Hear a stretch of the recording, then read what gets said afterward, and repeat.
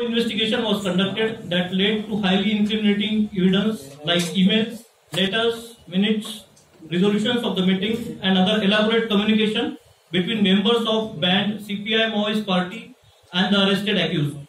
The evidence found traces back the involvement of Kabir Kala Manch and the arrested accused in mobilization of funds provided by banned outfit CPI Maoist in inciting the mass masses against administration from long before the Elgar Parishad was held. The analysis of seized documents from the electronic devices clearly reveals the conspiracy hatched by the banned CPI Maoist organization to form the All India United Front as per the strategy and tactics of CPI Maoist party, that is anti anti-fascist front, which is according to resolution of their ERB, that is Eastern Regional Bureau, which is their underground formation, in order to overthrow the government established by the law.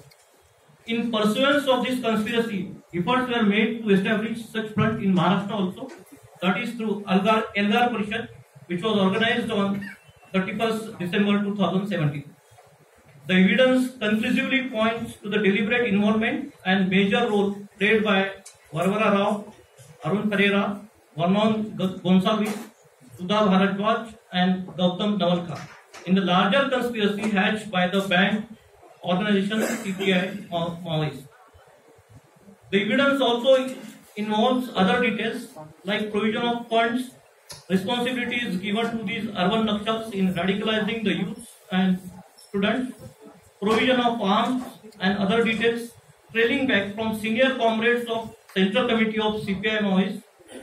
Also, they are actively and deliberately involved in the unlawful activities which led to the violence and killings of large number of security personnel and innocent civilians. Some of the evidence collected reveals that there appears to be nexus with the other unlawful organizations which spread violence.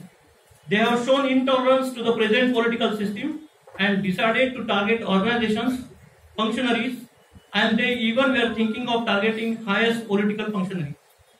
In all, nine places were searched in Mumbai, Thane, Faridabad, New Delhi, Hyderabad, and Ranchi on 28 August 2018.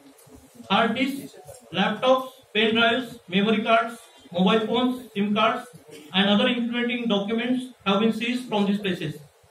Thus, on the basis of strong and conclusive evidence, the following persons have been arrested on 28 August 2018, namely Varvara Rao, Hyderabad, Arun Pereira from Thane, Varman Gonsalves from Mumbai, Sudha Bharadwaj from Faridabad, and Gautam Navalkar from New Delhi. Thank you.